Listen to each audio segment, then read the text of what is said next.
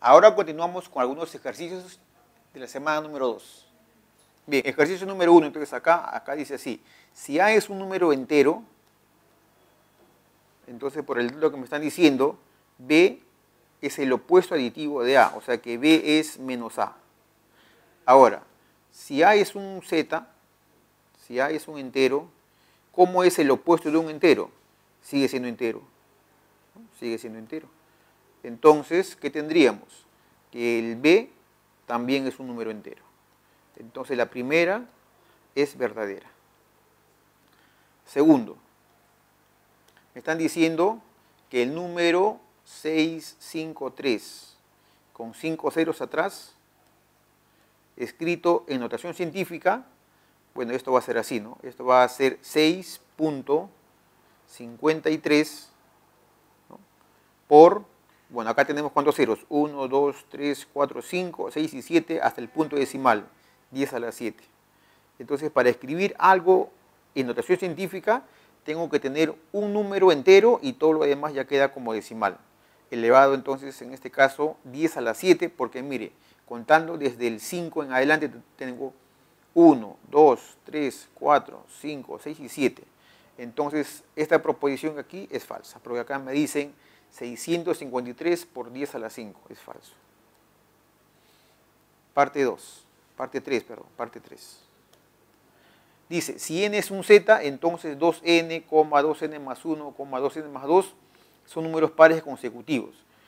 Bueno, si, es, si n es un z, hay dos posibilidades. Digamos que n sea un número impar, en este caso que sea 1, y entonces los números que tendríamos acá van a ser el 2, va a ser el 3 y va a ser el 4. Y estos números que salen no son pares consecutivos. ¿Qué pasa si fuera un par, en este caso 2? Un, un caso particular, tengo que 2 por 2 es 4. El siguiente, 2 por 2 es 4, más 1, 5.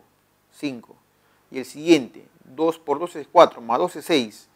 Entonces, en ambos casos veo que estos números no son, no son pares consecutivos. Entonces, esto también es falso. Y la cuarta, la cuarta, dice, se define AB asterisco CD como AD más BC, AB menos CD. Entonces vamos a verificar qué pasa con esto. 2,1 asterisco, que es una nueva operación que se ha definido, y tenemos 3,2. Bueno, según esta definición, esto se opera así. A ver, acá, tenemos a tener un par ordenado. Entonces, al operar esto, hay que fijarnos en cómo está definida la operación asterisco. Con respecto a la primera componente, es así. El primero con el cuarto. El 2 por el 2 sería 4.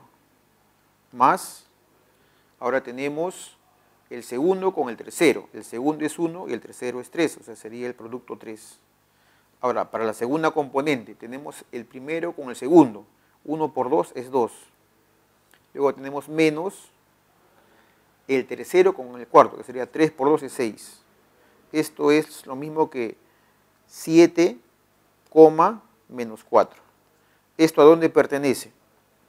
Bien, esta primera componente es 7, es un número, es un número natural. Y la segunda componente es, es igual a menos 4, que sería ya un número entero. Entonces, efectivamente, ese producto cae en el n por z, o sea, esto sería verdadero. Entonces, al fijarnos las, alternativas, acá la clave sería la letra E. Bien, acá tengo esta, esta operación con radicales, entonces vamos a hacer algo. Eh, ¿Usted se acuerda que para que uno solucione este radical, adelante tiene que tener un 2, ese sería, digamos, en modo práctico. Entonces, vamos a multiplicar a todo por raíz cuadrada de 2, aquí adelante. Vamos a multiplicarlo por raíz cuadrada de 2. Y acá también raíz cuadrada de 2 a todo lo que está en el lado derecho. Entonces quedaría así. Raíz cuadrada de 7 más raíz cuadrada de 10 más raíz cuadrada de 14 más raíz cuadrada de 35. Ahí está. Menos raíz cuadrada también de, de 2 y todo lo que queda sería acá ahora raíz cuadrada de 2 y abajo tenemos raíz cuadrada de 12 menos 2 raíz de 35. Ahí está. Y por último tenemos el más.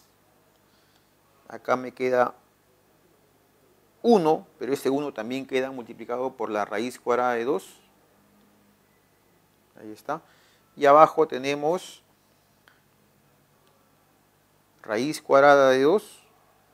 Y en paréntesis nos está quedando raíz cuadrada de 5 más dos veces raíz cuadrada de 6. Muy bien, entonces acá tenemos raíz cuadrada de 2 por m. Mire, este 2 va a ingresar a todo el radical. Entonces, acá tengo un radical, una raíz cuadrada de 2, una raíz cuadrada de 2, escribo una raíz grande. 7 por 2 es 14. Más, el 2 entra cada uno de estos radicales chiquitos como un 2 adelante. Raíz cuadrada de 2 más por raíz cuadrada de 10 más 2 veces raíz cuadrada de 14 más 2 veces raíz cuadrada de 35. Este sería el primer radical grande que tenemos. Ahora mire, acá arriba me va a quedar 2.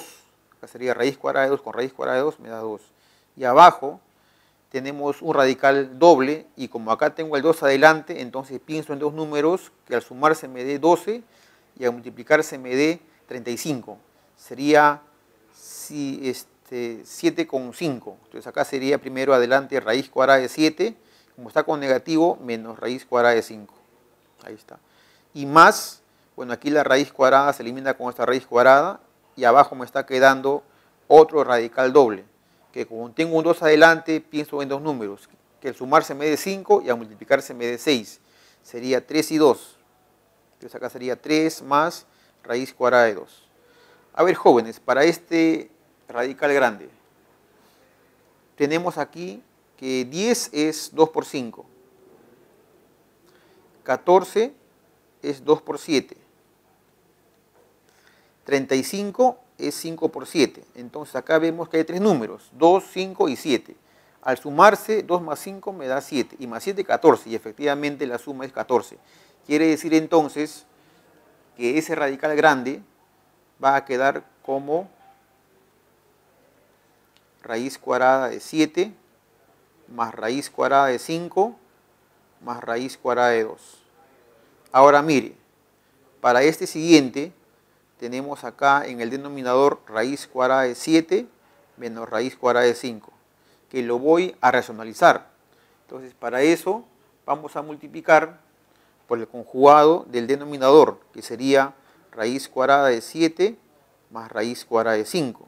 Y acá tendríamos raíz cuadrada de 7 más raíz cuadrada de 5.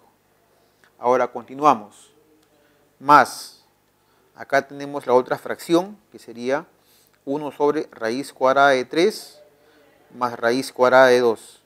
También la vamos a racionalizar porque tiene, en el denominador hay radicales. Entonces acá tendríamos raíz cuadrada de 3 menos raíz cuadrada de 2. Raíz cuadrada de 3 menos raíz cuadrada de 2. Muy bien, jóvenes, ya vamos terminando. Tenemos acá raíz cuadrada de 2m.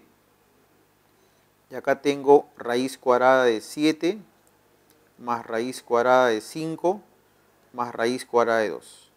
Menos. Mire usted, adentro, en, aquí en el denominador tengo una diferencia de cuadrados. 7 menos 5 y 7 más 5. Al elevarse al cuadrado esta, este raíz cuadrada de este, me queda 7. Y al elevarse al cuadrado esta raíz cuadrada de 5, me queda 5. 7 menos 5 es 2.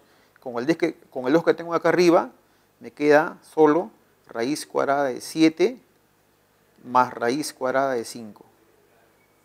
Más, en el siguiente sumando, en el denominador tengo también para aplicar una diferencia de cuadrados.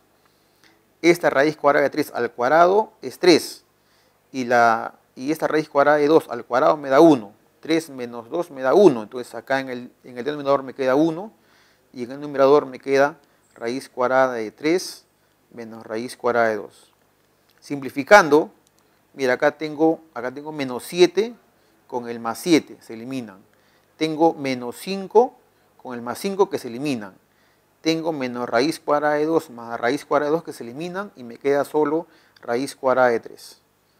Pero como yo quiero m, tengo que bajar esta raíz cuadrada de 2 al otro miembro y me quedaría como que m es igual a raíz cuadrada de 3 sobre raíz cuadrada de 2. Entonces el m me va a quedar ya, me va a quedar como raíz cuadrada de 3 sobre 2. Pero por dato, esto debe ser igual, dice, a raíz cuadrada de n más 1 sobre 4. Entonces quiere decir que las dos expresiones que están dentro del, radical deben ser iguales, o sea que n más 1 sobre 4 debe ser igual a 3 medios. Entonces acá le saco mitad, me queda 1, le saco mitad y me queda 2. Y el 2 se va a multiplicar al 3 y me estaría quedando que n más 1 es igual a 6, quiere decir que n vale 5. Entonces mire, acá tenemos que el m es igual a raíz cuadrada de 3 sobre 2 y tenemos que el n es igual a 5. Nos están pidiendo m al cuadrado. Ya, entonces de aquí sale que m al cuadrado es igual a 3 medios. Y nos piden esto, m cuadrado, m cuadrado, m cuadrado, n más 3 veces. O sea, me están pidiendo esto. 3 medios más 3 medios más 3 medios, 5 más 3 veces, o sea, quiere decir 8 veces. ¿Qué significa esto? Esto significa un producto, o sea, sería 8 que multiplica a 3 medios. Muy bien, alumnos, jóvenes, acá le sacamos mitad al 2, me queda 1, acá le saco mitad al 8, me queda 4. 4 por 3, 12. Y entonces la clave sería la letra D. El conjunto M dice que sus elementos son los x más 2, pero los x más 2 cumplen que 3x más 6 es mayor o igual que 0 y también cumple de que 2x menos 4 es menor o igual que 8. Entonces vamos a resolver estas inecuaciones. Acá tendríamos que 3x es mayor o igual que menos 6 y que 2x es menor o igual que 12. Aquí el menos 4 ha pasado al lado derecho y al sumarlo con el 8 me da 2. Ya está. Acá le sacamos tercia y x es mayor o igual que menos 2. Y por este lado x es menor o igual que 6. O sea que tenemos acá, entonces tenemos que el x va a ser menor o igual que 6 y va a ser mayor o igual que menos 2. Entonces, observando a los elementos de m, que son x más 2, hay que sumarle a toda la desigualdad 2. Entonces tendríamos x más 2, en el lado derecho me sale 8 y en el lado izquierdo me sale 0. Quiere decir que los x más 2 son elementos de m. Y entonces, viéndolo como un intervalo, m tiene que ser un intervalo cerrado desde 0 hasta 8. Ahí está. Ahora, por otro lado, tenemos el conjunto n. Este conjunto n, sus elementos son los x, que van a ser números reales, pero que están cumpliendo que x al cuadrado es mayor que 16. Esto ya por una propiedad que hemos visto, equivale a decir que x es mayor que menos, es mayor que 4 o x es menor que menos 4. Entonces también viéndolo como un intervalo, n tiene que ser de la forma de menos infinito a menos 4 abierto, unido de 4 hasta más infinito. Entonces ya tengo el conjunto M y el N en forma de intervalo. Nos están pidiendo la intersección. Entonces por acá vamos a hacer un pequeño dibujo. Menos infinito más infinito. Por acá tenemos al menos 4 0 4, 8. Muy bien. E, el M es un intervalo cerrado, o sea, cerrado en 8, cerrado en 4. Ahí está. Y el conjunto N, el conjunto N es un intervalo abierto en 4 hacia el más infinito y de menos 4 hacia menos infinito.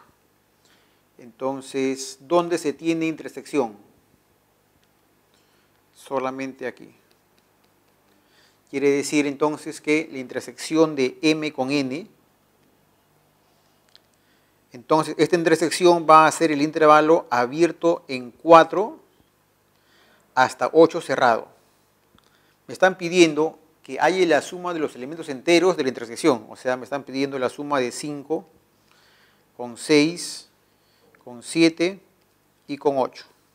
Entonces acá tendríamos 8 más 5 es 13 y 7 más 6 es 13. Entonces sería 26.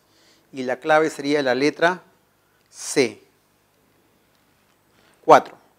El ingreso mensual de cierta compañía está dado por esta expresión, que es I. Entonces acá tenemos I igual a 1200X menos 4X al cuadrado.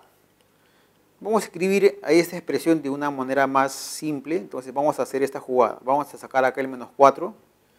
Y acá me va a quedar x al cuadrado menos 300x.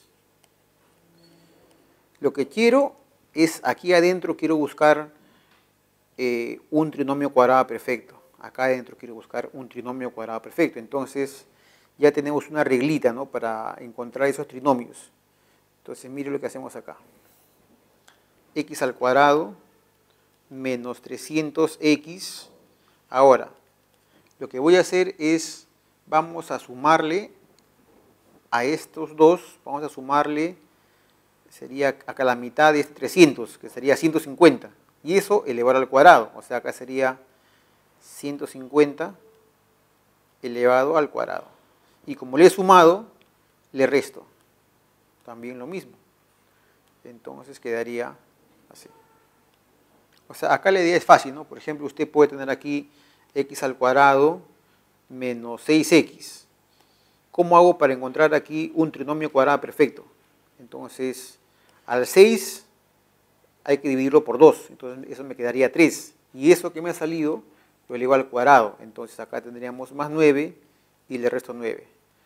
Los tres primeros términos va a ser entonces x menos 3 elevado al cuadrado, menos 9. Entonces, justamente al agregarle ese tercer término, se construye un trinomio cuadrado perfecto.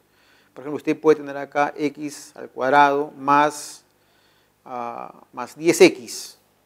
Quiero formar acá también un trinomio cuadrado perfecto. ¿Qué hacemos? Bueno, tengo x al cuadrado más 10x. Ahora, al coeficiente de x, que es 10, hay que sacarle la mitad. Y eso me queda 5. A ese valor lo voy a elevar al cuadrado. Entonces acá tendríamos 5 al cuadrado, o sea, 25. Y también le resto 25. Entonces los tres primeros términos me están formando un trinomio cuadrado perfecto. O sea, x más 5 al cuadrado menos 25. Entonces acá ya tenemos una regla práctica para encontrar a los trinomios cuadrados perfectos. Para formar trinomios cuadrados perfectos. Ya está. Continuamos entonces nosotros con nuestro procedimiento. La i que teníamos aquí arriba, entonces acá tengo menos 4, abro corchete. Estos tres primeros términos van a ser x menos 150, todo elevado al cuadrado, y acá tenemos menos 150 al cuadrado. Y ahora, si el 4 entra a multiplicar, me quedaría aquí 4 por 150 al cuadrado menos 4 veces x menos 150 al cuadrado también. Entonces, esta va a ser la expresión que me da el ingreso. En el mes de marzo, el precio de dicho artículo estaba variando entre 100 hasta, hasta 250 soles. Entonces, quiere decir que x es menor o igual que 250, y es mayor o igual que 100. Entonces, a partir de aquí es que yo voy a conseguir la expresión que me da el ingreso. Entonces, vamos a restarle a todo 150.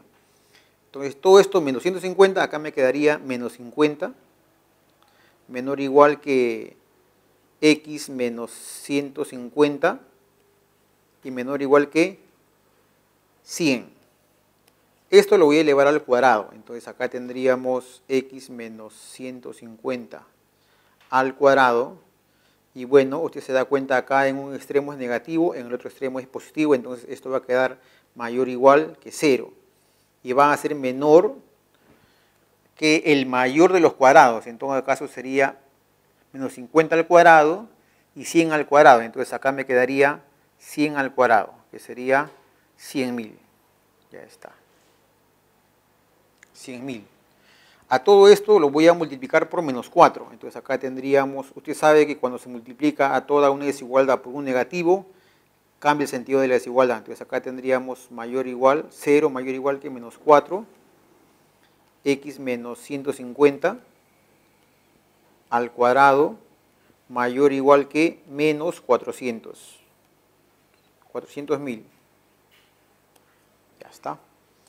A todo esto ahora le voy a sumar 4 por 150 al cuadrado. O sea, sería 4, 150 al cuadrado mayor o igual que 4, 150 al cuadrado menos 4x menos 150 al cuadrado mayor o igual que 4 por 150 al cuadrado menos 400.000. ¿Ya? Esta expresión me sale 90.000. 90.000. Esto que está aquí es la expresión que me da el ingreso en el mes de marzo. Entonces acá estoy observando que I es menor o igual que 90.000. Y la pregunta justamente es, ¿cuál sería el máximo ingreso que se podría obtener durante el mes de marzo? Entonces la respuesta sería 90.000, o sea, la clave, la letra D.